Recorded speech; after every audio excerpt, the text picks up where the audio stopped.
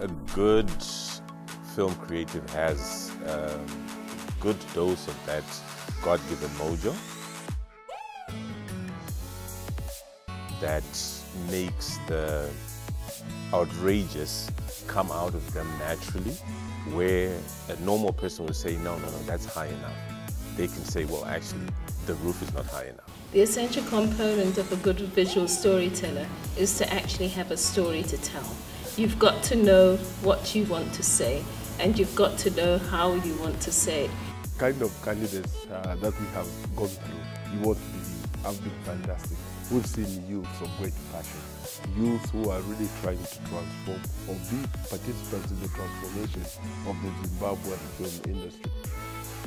Very determined, very passionate young filmmakers.